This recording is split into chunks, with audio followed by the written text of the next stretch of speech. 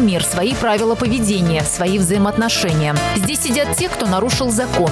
ЛИУ-7 – единственное в России лечебно-исправительное учреждение, где содержатся осужденные женщины со всей страны. Они не просто отбывают наказание, но и лечатся от алко- и наркозависимости. Проходят реабилитацию. Лене 38. Начала употреблять наркотики в 15 лет. За решеткой уже в шестой раз. Наркотики приводят в тюрьму.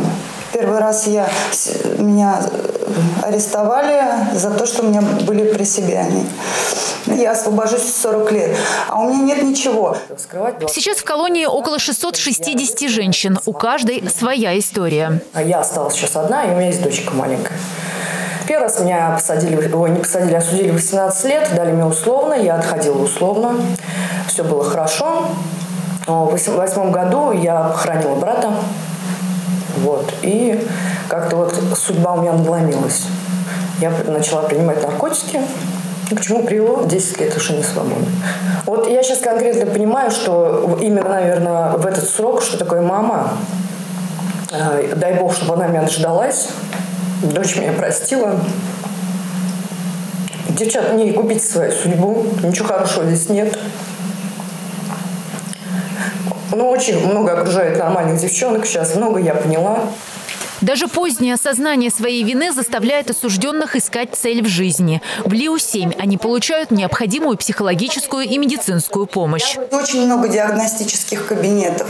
Мне начали прописывать лечение, заниматься со мной, тренинги. Тренинги тоже очень хорошо повлияли. Прием медикаментов.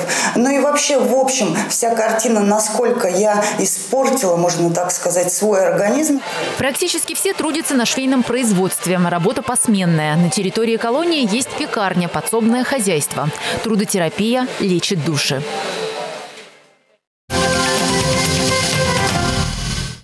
Мы всегда с интересом и любопытством смотрим сюжеты и передачи о жизни за решеткой. Истории о людях, которые там оказались. Но каждый при этом думает, что его это никогда не коснется. И никто не может представить, что окажется в местах лишения свободы. Но всего один неверный шаг, который может перечеркнуть всю жизнь и разделить ее на до и после. Один из основных признаков правового государства – его способность обеспечить соблюдение прав и свобод своих граждан, в том числе и осужденных. Люди, которые совершили преступление, преступления имеют право на защиту. Сегодня в программе «Правовое поле» о реализации этого права в Чувашской республике. Гость программы – прокурор по надзору за исполнением законов в исправительных учреждениях Чувашской республики Евгений Ортиков. Здравствуйте, Евгений Владимирович. Здравствуйте, Татьяна. Расскажите, что это такое спецпрокуратура и чем она занимается? Чебоксарская прокуратура по надзору за соблюдением законов а, в исправительно-трудовых учреждениях Чувашской ССР была создана в 1983 году. А, прокуратура осуществляет надзор за а, соблюдением прав осужденных и за соблюдением законов администрациями исправительных учреждений.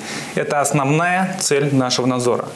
Кроме этого, мы проверяем и соблюдение бюджетного, природоохранного, антикоррупционного, уголовно-процессуального законодательства, проводим проверки соблюдения а, законов о социальном обеспечении, а, законов об оперативно-розыскной деятельности. Но основная цель – это соблюдение прав и законных интересов осужденных. Основная наша работа – это не кабинеты, это колонии. Мы должны находиться на местах, то есть общаться с администрациями учреждений, общаться с осужденными, а, выявлять те недостатки, которые имеют место быть, и устранять их а, в оперативном порядке. Чем раньше, тем лучше, желательно на месте.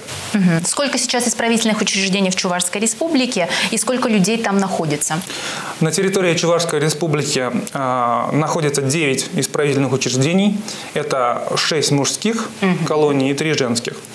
А если говорить а, по видам режимов, это три колонии строгого режима, четыре колонии общего режима, одна колония поселения и особо необходимо отметить а, лечебно-исправительное учреждение, это женская колония общего режима, которая является единственной в России. На сегодняшний день в колониях содержится 5523 осужденных. В прошлом году эта цифра составляла 6518 человек. Угу. По статистике, количество заключенных в России в октябре этого года, хочу заметить, достигло своего исторического минимума, снизилось на 6% по сравнению с прошлым годом. Сейчас в России на данный момент э, в местах лишения свободы находится чуть более 434 тысяч человек. Как обстоит э, дело в Чувашии? Это, то есть, тоже такое масштабное снижение количества осужденных? И э, как вы считаете, с чем это связано? А, если провести анализ цифр, статистики, хотя мы, конечно, говорим о людях, но в том, тем не менее, мы должны считать общее количество осужденных. Угу. Вот. А в текущем году количество лиц, которые отбывают наказание в виде лишения свободы в Чувашской республике меньше, чем в прошлом году на 15,3%. А, То есть это даже больше, чем в целом по России? Да, это больше, чем в целом по России, чем это обусловлено. А, во-первых, я так полагаю, это масштабные изменения в государстве, это изменение общества, менталитета, правосознания людей. Возьмем, к примеру, данные 2009 и 2018 годов. В 2009 году совершено 2 миллиона 900 тысяч преступлений. В 2018 1 миллион 900 тысяч. Да, бесспорно, это немало, но все же на целый миллион меньше. То есть можем ли мы сказать, что люди стали меньше совершать преступлений? Или это все-таки еще и с другими какими-то факторами связано? Да, люди стали меньше совершать преступления, абсолютно верно. Угу. Какие факторы еще повлияли на такую статистику? А, кроме того, а, определенные, даже решающее значение имеет политика государства в области э, уголовно-правовых отношений, то есть э, гуманизация уголовно-правовой политики. Если проследить э, законопроекты, которые принимает Федеральное собрание, подписывает президент, значительное большинство из них направлено на либерализацию сложившихся отношений. Прежде всего, наиболее актуальные вопросы – это, конечно, защита прав предпринимателей, это экономические преступления, это несовершеннолетние и ряд других направлений. Ну и в качестве третьего аспекта необходимо отметить позицию судов, то есть э, судебная система э, исходит из того, что а, лишение свободы – это наиболее строгий вид наказания, который можно применить в настоящее время. Оно назначается только в случае, если человек не может исправиться без изоляции от общества. Только в этом случае. Угу. То есть исправительные учреждения, они же тоже бывают разные. Вот, например, чем отличается исправительное учреждение строгого режима от общего?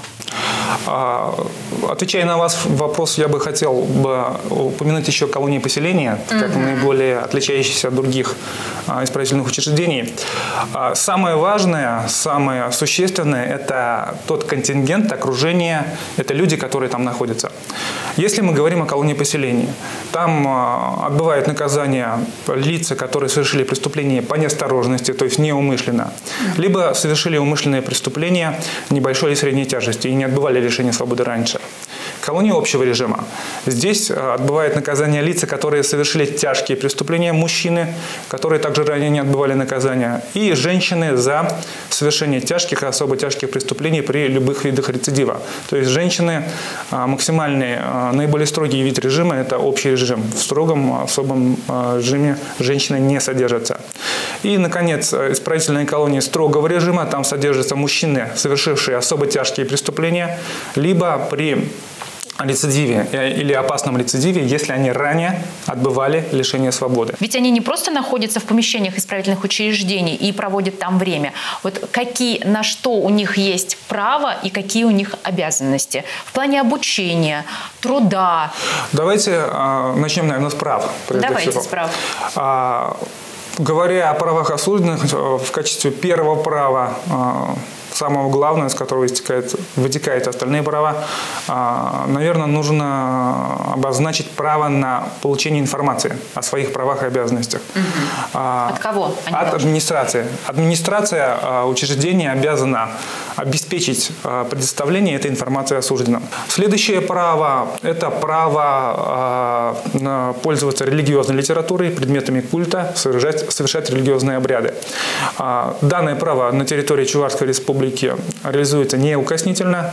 Вот, а помощником начальника УФСИН а, по Чувашской республике по организации работы с верующими является отец Алексей. Вот. Следующее право – это право на охрану здоровья. Здесь необходимо остановиться более подробно. Если сказать в целом, то организация работы по медико-санитарному обеспечению в Чувашии находится на должном уровне. Функционирует 8 филиалов медико-санитарной части, 3 больницы, из которых одна республиканская и 2 а, туберкулезных. В то же время к нам поступает значительное количество обращений осужденных о ненадлежащем медико-санитарном обеспечении. Нарушение данного законодательства мы выявляем а, на систематической основе. А, это нарушение стандартов оказания медицинской помощи. Это не выдача больничных угу. лицам, которые, которые болеют.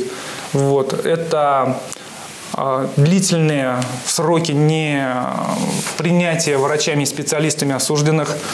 В частности, на территории К2, это женская колония а, общего режима, которая находится в городе Алатырь, при личном приеме а, обратилась осужденная, которая сказала, что в принципе у нас все нормально.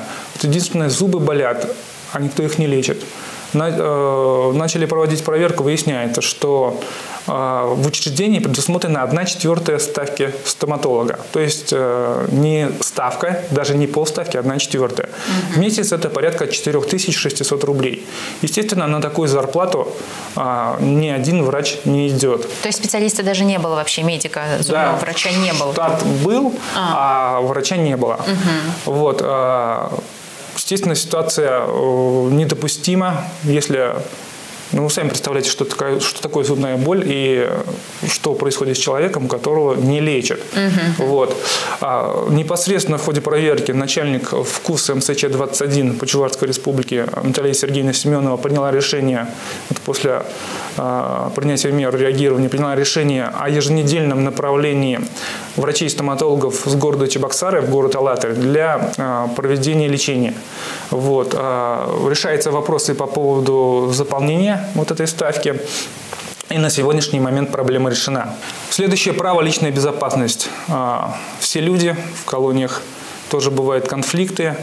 И а, в настоящее время двое осужденных находятся по постановлениям начальников учреждений в так называемых безопасных местах. Вот, к ним поступали угрозы со стороны других осужденных. А, для этого... Это в мужских колониях? В это мужские колонии, да. Для этого они были перемещены в безопасное место. Вот, а по фактам а, противоправных действий а, проводится соответствующая проверка, будет принято соответствующее решение. Право на образование – это Следующее право, на котором я хотел остановиться. Уголовно-исполнительное законодательство рассматривает э, получение образования как одно из средств исправления осужденных. Угу. Даже как средство и профилактики, и исправления, и реабилитации. Да, абсолютно верно. Это э, предупреждение преступлений. Э, в настоящее время в колониях 661 осужденный проходит обучение, 13 осужденных получает высшее образование, в текущем году 63 осужденных получили основное образование, 182 осужденных среднее образование. И, Основное и 1000... образование – это школьная программа? Это 9 классов. 9 классов. Да. Угу. И 1154 осужденных – это среднее профессиональное образование. Вот. То есть этот процесс ведется, ведется на должном уровне. И э, нарушение, серьезных нарушений закона в этой сфере не выявлялось. Что касается а, права на труд в отношении лиц, которые отбывают наказание. А, это право корреспондирует с обязанностью. А, несмотря на то, что в Конституции Российской Федерации записано, что труд свободен, исходя из конституционных принципов и норм, а также норм международного права, а, лицо, которое отбывает наказание в виде лишения свободы, обязано трудиться, и этот труд является законным, обоснованным, и можно принудить человека к тому, чтобы он трудился. Это одно из средств воспитания осужденных посредством труда. Кроме обязанности трудиться осужденного существует еще а, ряд обязанностей. Это а, соблюдать законы, соблюдать распорядок дня, а, выполнять требования администрации учреждения, бережно относиться к имуществу, соблюдать требования пожарной безопасности, быть вежливыми в отношениях между собой и с сотрудниками уголовно-исполнительной системы, а также ряд других обязанностей. какими нарушениями прав осужденных вам чаще всего приходится сталкиваться? На что жалуются сами осужденные и их родственники? Вот что прям часто очень. Э, в текущем году спецпрокуратурой выявлено порядка 600 нарушений закона, и в целях их устранения мы внесли более 300 актов прокурорского реагирования. Э, по результатам э, их рассмотрения к дисциплинарной ответственности привлечено 279 сотрудников исправительных учреждений, вот, к административной ответственности 30 должностных лиц. А, наиболее а, скажем так, актуальные, а, наиболее сложные, наиболее важные вопросы нарушения законов – это следующее. Первое – это применение мер дисциплинарного взыскания. Вот. Осужденные зачастую не согласны с ними. Как я уже отметил, мы проводим проверки обоснованности, законности наложения мер взыскания. При наличии оснований мы их отменяем. Что значит дисциплинарное взыскание? Это снимаются деньги с их счета или что? За какое-то а, нарушение? Уголовное исполнительное законодательство предусматривает а, ряд вид дисциплинарных взысканий, которые могут быть применены к осужденным. Это наложение взыскания в виде выговора, угу. дисциплинарного штрафа до 200 рублей. А, есть такие взыскания, которые связаны с изоляцией осужденного уже от других осужденных. Это водворение в штрафной изолятор до 15 суток, помещение камерного типа, это женщины до 3 месяцев и мужчины до 6 месяцев, и единое помещение камерного типа, это на срок до 1 года. В текущем году в ЕПКТ, вот единое помещение камерного типа, а, переведены 15 лиц. Это ЕПКТ находится на территории города Алатырь, то есть а, в ИК-2 осужденные, а, наиболее злостные осужденные, которые нарушают установленный порядок отбывания наказания этапируется туда, и э, часть наказания отбывает там. И наиболее э, серьезный вид ну, можно, в общем, назвать взыскание, хотя взысканием это не является. Это изменение вида исправительного учреждения. Это перевод осужденных в тюрьму, где наиболее строгие условия отбывания наказания. А вот вышеуказанные лица, злостные нарушители, могут быть переведены в тюрьму на срок до трех лет. Тюрем на территории Чувашской республики не имеется. Это что касается несогласия э, осужденных, вот обращения осужденных с привлечением к ответственности. Есть выражение «предупредить легче, чем потом устранять последствия». Давайте посмотрим сюжет о профилактике правонарушений среди несовершеннолетних и о профилактике повторного нарушения закона уже после освобождения из колонии.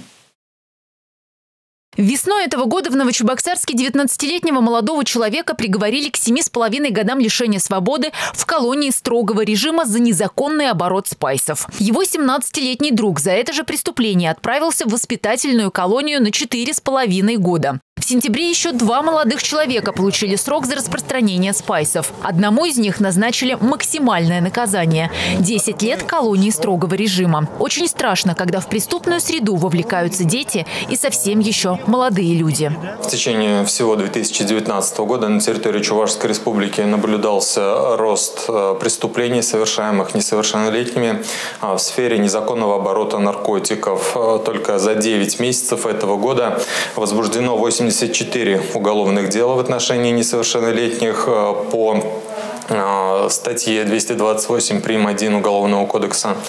А, а за аналогичный период прошлого года таких дел было 74. А, перед судом предстали 12 несовершеннолетних, в том числе несколько девушек. А, как следует из материалов уголовных дел, как правило, молодые люди находят незнакомых им лиц, чьих персональных данных они и не знают. В последующем ведут с ними переписку переписку в интернет-мессенджерах, как правило, это Telegram. И а, по а, предварительному сговору с этими неустановленными лицами а, получают закладки в тайниках с наркотиками.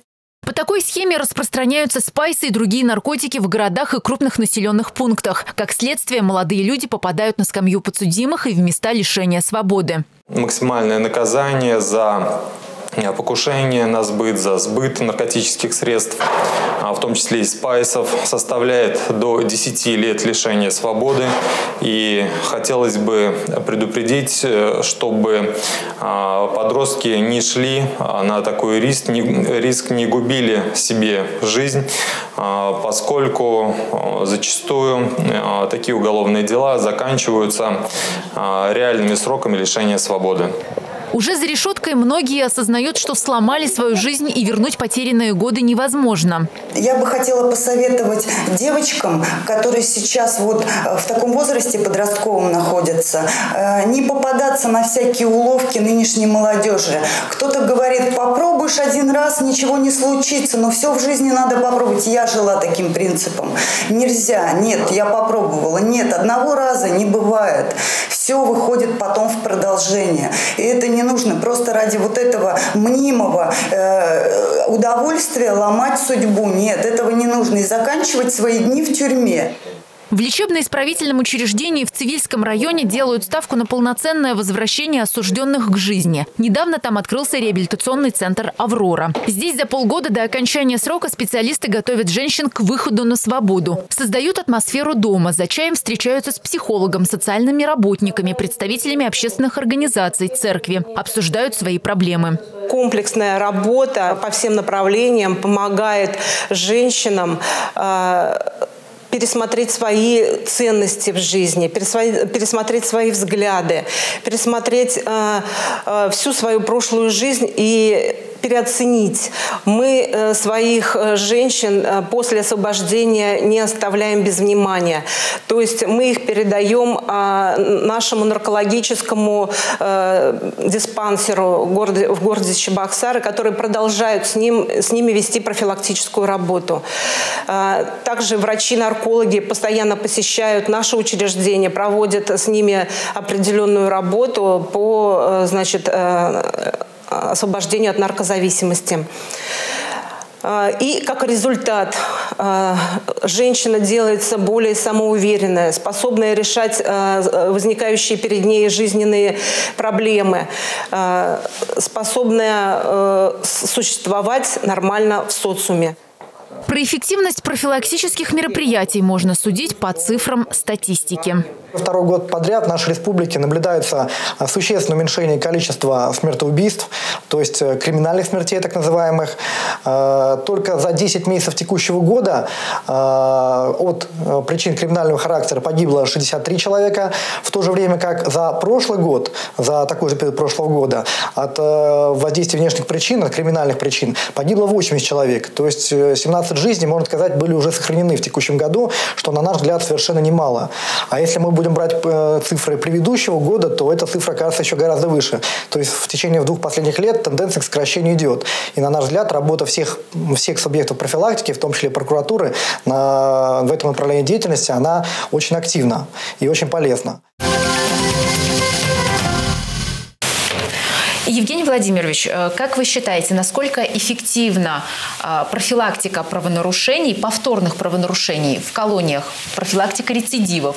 Касательно методики, э, я бы один метод не выделял. Угу. Я бы рассмотрел именно совокупность методов. Комплекс, да? Да. То, что предусмотрено уголовно-исполнительным законодательством, только в комплексе требования к, к осужденным э, соблюдать закон, соблюдать правила э, внутреннего распорядка, трудиться, учиться, если есть к этому необходимость, э, вежливо относиться к другим осужденным и к администрации исправительного учреждения.